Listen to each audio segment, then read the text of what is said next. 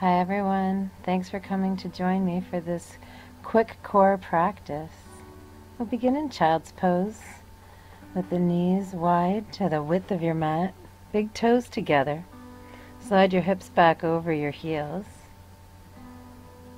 Reach your hands forward and stretch through the side body as you reach your hips back over your heels and your fingertips forward on the mat. Breathe deeply into the belly, feeling the belly sink between your thighs. And as you exhale, feel your hips sink maybe a little closer down to the mat, to your heels.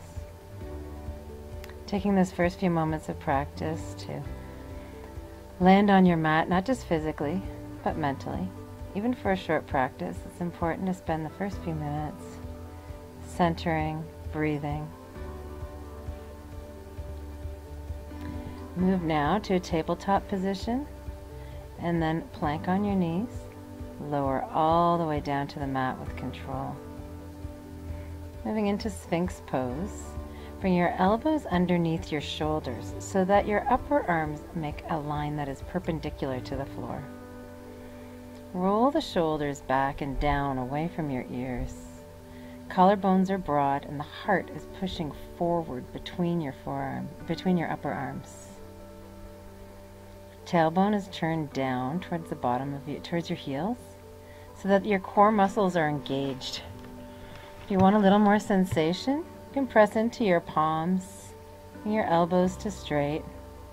Remember to roll your shoulders back and down again. Turn the tailbone down. If you're feeling any kind of stress in your lower back, take, take a step backwards. Release the back bend a little bit. This is a really nice pose where you can really find the true relationship between the strength of your core muscles and the health of your low back. Lower down easily to the mat. And press the hips up and back to child's pose once again so that we can neutralize that back bend in, in a neutral pose.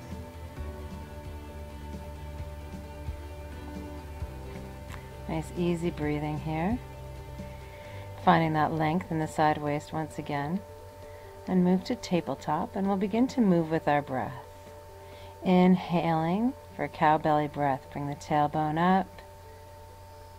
Exhale, angry cat round the spine. Inhaling, gaze forward, bring the tailbone up. Exhale, pull the navel up and away from the floor. Keep moving with your breath, inhaling to stretch the front of your body, exhaling to round the spine. Find that core strength. And when you're ready, curl your toes under and lift your knees about two inches up off the mat. Back is nice and flat here. Your neck is neutral, gazing down at the mat between your hands. Pull, feel like you're pulling your hip creases back towards the wall behind you, even while your shoulders stay directly over your wrists, stretching and lengthening that back while we build a little fire in the belly. Lift the hips up and back now, downward facing dog. Press into your hands to bring the hips further back behind you. Head drops like a like a bowling ball between your between your forearms. And when you're ready, hinge forward. Bring your feet between your hands, coming right to the halfway lift with a nice flat back. Exhale, fold forward, and then inhaling, rise to stand. Exhale, dive down again, forward fold. Inhale, halfway lift, extend. Exhale, moving to plank, low plank. Inhale, up dog. Exhale, back, downward facing dog. Inhaling, bring your feet forward between your hands, halfway lift. Exhale, forward fold. Inhale, rise all the way up to stand. Exhaling, forward fold. Dive down, let the upper body be heavy here. Stay, inhale, halfway lift. Exhale, forward fold. Let the body be heavy here and just hang in your forward fold. Like a rag doll. Like Knees can be soft here, letting the lower back release. You can sway a little bit.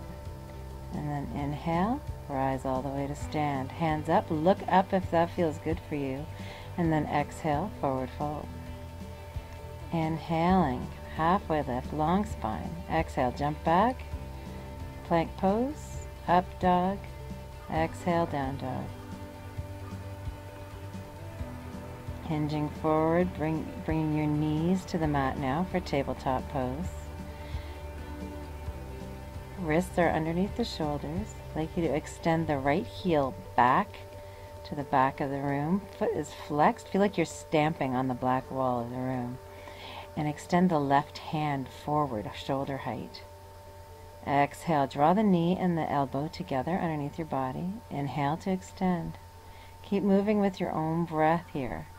Inhaling, extend just like a little bit of cow belly breath. And exhale, find a little angry cat in your body there.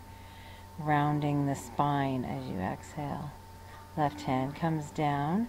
Right foot sweeps across the mat over to the left. Touch your toes down. And then look over that left shoulder, getting a nice stretch in the right side body. Inhaling back to neutral.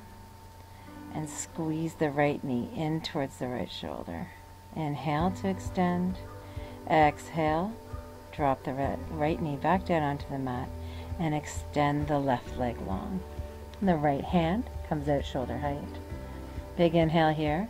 And then exhale to join the elbow and the knee underneath the body. Inhale to extend. Exhale, pull it all in. Inhale, extend.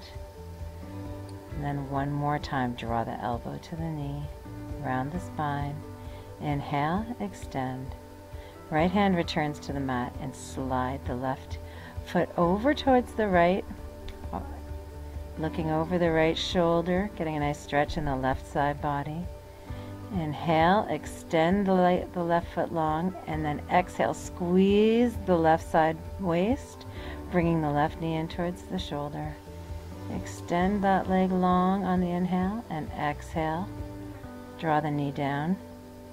Walk your hands back in towards your knees and come up to stand on your knees.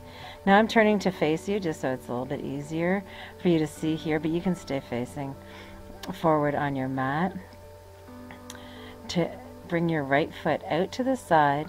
Inhale, find length in the side body as you bring your fingertips up.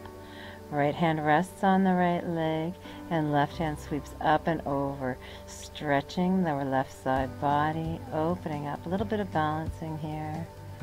Nice easy breathing. Inhale to come up and then exhale. Bring the left hand down to the mat.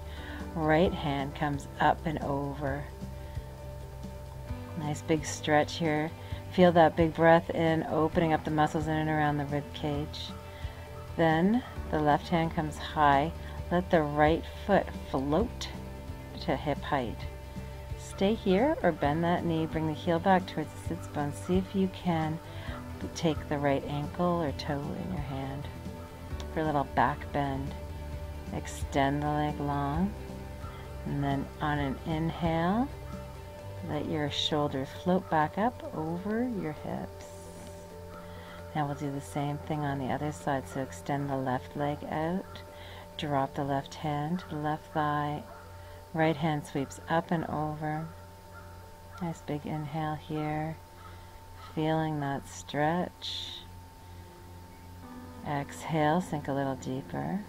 And then on your inhale, come all the way back up. Exhale, right hand to the mat, left hand sweeps up and over stretching out the, that side of the body. Really breathe into these stretches.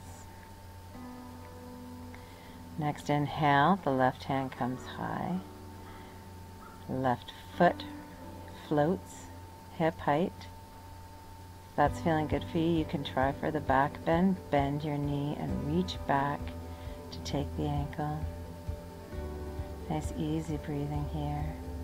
Now with control, extend that leg long, reach up with your hand. And come on back up. To return to a kneeling position, hands at heart center. And bring your hands back down to the mat. Return to child's pose. Resting once more. Nice easy breathing here.